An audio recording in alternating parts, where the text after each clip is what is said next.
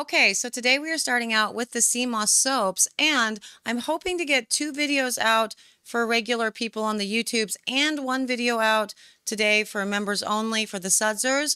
And so there's a lot going on at the moment. But, you know, considering it's already, you know, like 10:30 in the morning, I don't have my watch on me, but I know that's what time it is, and it takes forever to offload these things these days because my computers are awesome. I am wondering if I'm going to be able to do that. But, you know, fingers crossed. And if that doesn't happen, you're going to get a video first thing tomorrow morning. I'll be wearing the same shirt. It's all a thing. Feel weird about it because this is the first time I would ever do that. We are doing the moss soaps today and starting out with a very interesting one and I will tell you more about it in just a minute. But before I do, hello, I am Mrs. Soap and Clay. Let's make stuff.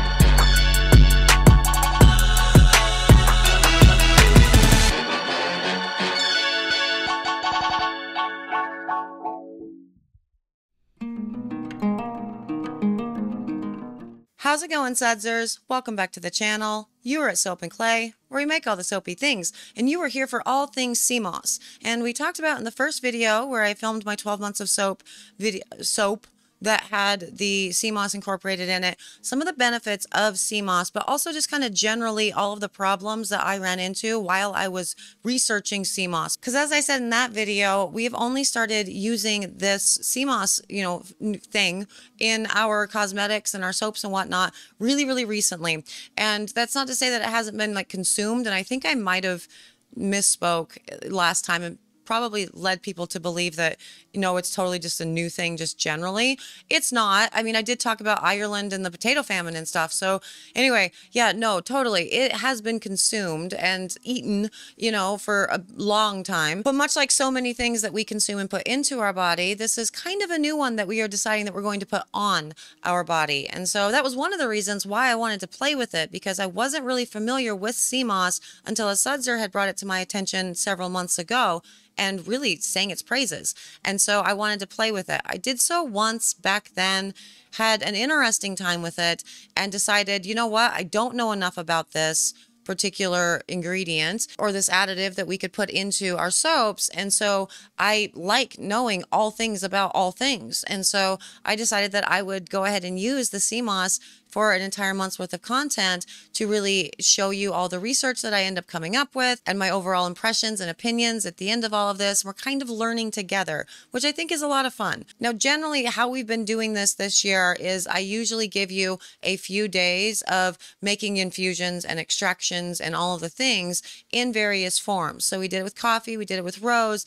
There's really not a reason to do that with sea moss. There's kind of only one way that it can be used because it comes in a really firm, very hard to rip. It's also interestingly hard to cut. The blender itself doesn't do a good job actually breaking everything up. Comes in a very firm form. And so because it's dried sea moss. And so realistically, the process that you're going to do is you're going to hydrate it and then you're going to blend it down and create what people have called a gel. And I've yet to get a gel. Maybe throughout all of this, you will find that I did manage a gel. I'm honestly not sure. I don't think it ever happened, but I have had a lot of problems getting the chunkiness out of the sea moss so I can incorporate it into my soaps.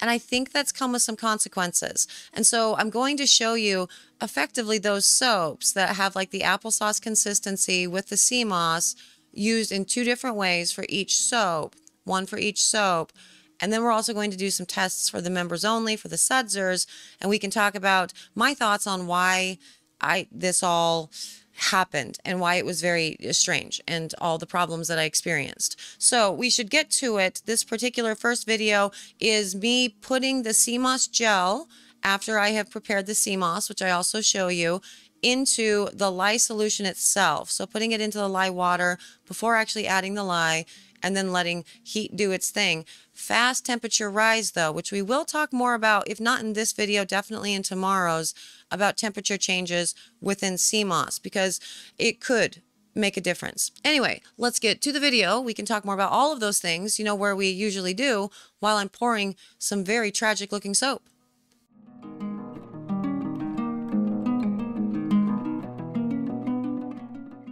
So today we are going to go through the process of preparing the sea moss to use in soaps and cosmetics. And as it says there, dried natural sea moss. And we have all the stuff on here. It's good for stuff. It's found in Ireland and the Caribbean and all of the jazz. And then here's the instructions on it as well about how to uh, really, uh, well, prepare it to get ready to make it an actual gel because you see here, we've got some very strange, hard to rip. This is very difficult to rip, fully dried sea moss hanging out here. And um, you need to essentially get it into a place that's going to work well within your soaps. And so to do that, you can follow the instructions on uh, multiple sites that sell this, really. Some sites said hot water, some sites said cold water. So here's the overall thing, okay? I had such a time with this because there was no consistency. There was no consistency whatsoever throughout this entire uh, moss journey as far as whether or not it is uh, heat sensitive or whether or not you should use hot water or cold water or if you should leave it for 12 to 24. So here's basically what I have compiled. So to prepare it, you need to soak it. So you rinse it off, you soak it in cold water or hot water. Either way, either way works, apparently. And uh, then you're going to want to soak that for 12 to 24 to four days to help rehydrate and expand. And as you can see, mine never expanded there. It never did that. And then it uh, wants you to go ahead and blend it in this blending stage here. Once it's fully hydrated, which again, I left some of this sea moss stuff for over a week. And I don't know. I it still looks like applesauce to me. But anyway, so what you're going to want to do is you are going to want to uh, take all of your sea moss, rinse it out. So rinse all the stuff that has now like been taken from the sea moss. Go ahead and drain that and put in some fresh water into a blender and blend until it forms a smooth gel-like consistency. And you know, it says that the ratio of the sea moss to the water can vary depending on the desired thickness of the gel. And so I tried all different all different types. And this is what we're going to be working with for the rest of this week and probably most of next week as well. Just trying to figure out what consistency I liked for my sea moss. This one I ultimately did strain all of the existing water and I put in about half the amount of the sea moss that I'd weighed out I put in about half that amount as far as additional water into the blender. And as you can see, I don't, it, it's not very gelatinous. It's very applesaucy. And I decided for this particular soap to put it into the lye solution, to incorporate it into the lye solution. Now, the reason for that is because I did make a video on the channel several months ago when a sudser had requested that I, you know, try out the sea moss or recommended it rather. And I did it and I didn't have the greatest time. I still had this consistency with this is very much a, a an applesauce type thing and I'd put it directly into the soaping oils and I didn't super love it. And so I thought for this test, I'll go ahead and try it into the lye solution first and see if we have any difference with all of this because I found little clumps of things existing within it and I didn't like that. And my soap was just kind of wonky. And so I decided to do it this way. So, what I have done with all of this is I've measured out three ounces of sea moss, that the sea moss gel that I have now put into my water for my lye solution. And I'm now going to incorporate my lye into this solution. And I'm thinking maybe the heat will help soften up any of these sort of chunky bits a little bit more. So there's not a, very strange texture in the end result of my soap. And that's not to say that I'm afraid of texture. I love texture in soap. I love glycerin rivers. I love different exfoliants. I I enjoy an interesting texture within soap. It's not that. It's just I have been told that this is a process where you can get a completely smooth, beautiful bar of soap with no little pockets of, hey, this is sea moss gel, you know? And so I'm trying it to see if it's going to maybe get smaller and not have any of those clumpy bits via the use of the exothermic reaction between the lye and the water. And so that's what we'll be working with today. Uh, spoiler alert, everything gets really weird. And so that's why we're having so many videos and a members only because none of this really went as planned. But you know, we're testing. We're just doing that. We're doing the test. So let's let this cool down and we can incorporate it into our water or our soap oils rather and get to soaping.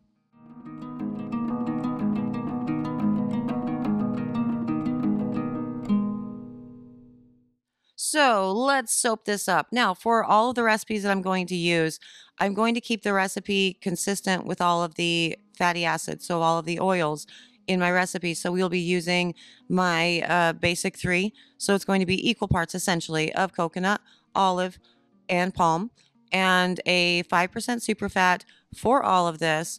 And my water is going to be the exact same that it always has been. So I soap it 2.4 times water to lye. And we have an, an, addition with this, with the three ounces of the sea moss that has been put into. Never did get looking gelatinous within the lye solution either.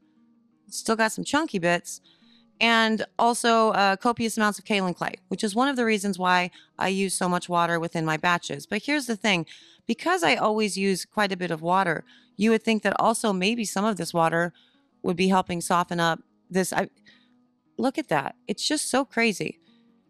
And I did also notice that it was very, very slow to trace. And I have a lot of theories as to why everything ended up being the way that it, well, well, the way that you're going to see today and later today and tomorrow. And so I'm going to talk about that in the members only. We're going to do some tests on it while I, you know, give my theories. And so definitely Sudsers, look out for that one. But this time that it took to trace was actually crazy. And this is a little bit painful because I left all of this in. This pour in and of itself, not a very long pour, but I left all of this part that I usually either speed up, usually I just speed it up in for all of this to show you just how long it is taking. Look how thin that batter is. It's actually really surprising. And I have some ideas as to why that is. And I think it has a lot to do with the minerals that are found within the moss. But again, we're going to talk more about that throughout today, tomorrow, and the members only. So, yes, we're going to be doing that. Now, as we said in the first video on the moss, we were talking about the fatty acids, right? And the moss does contain a bunch of fatty acids, which is specifically omega 3 and omega 6. And these are going to be really good for maintaining healthy skin and omega 3s and 6s are really known for their moisturizing and their nourishing properties which will definitely benefit the skin, uh, whether you're putting it on it or whether you're consuming your omegas 3s and 6s. But additionally, to, in addition to the fatty acids, sea moss also contains lots of other stuff. So we have lots of vitamins, minerals, and antioxidants. And so that's going to help promote healthier skin, improve hydration, overall skin health, because it's very, very nutrient rich. And I was talking about that in regards to the amount of minerals that exist within sea moss and I believe that might have something to do with why this batter stayed so thin for so long, took forever to get to trace. And again, this is a this is a recipe that I've worked with a million times, you know?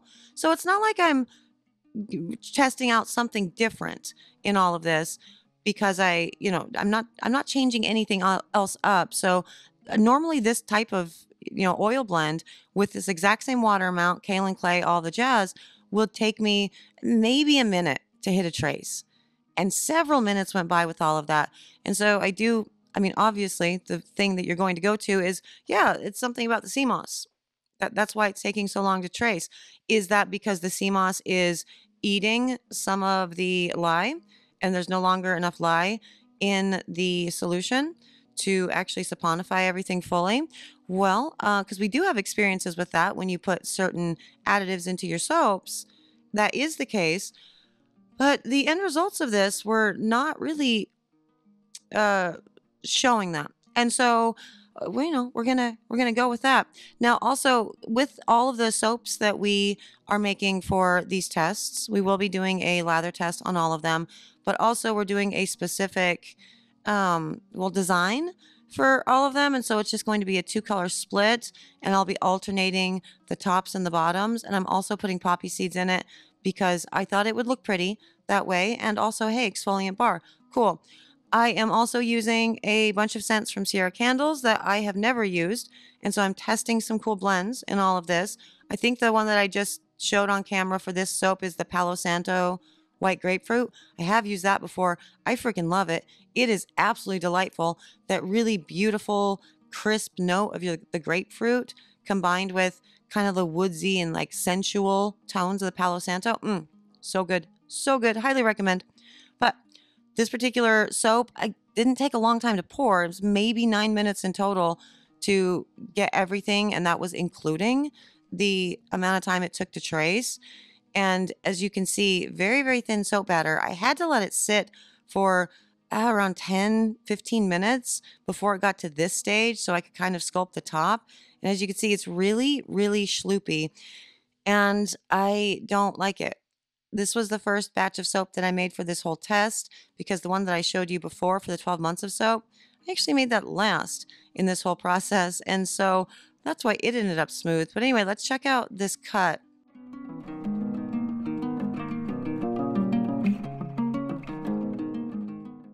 Yeah, but this one was for sure the first. And I say that to just give you an idea of how not fun I thought this entire process was going to be. Because look at this.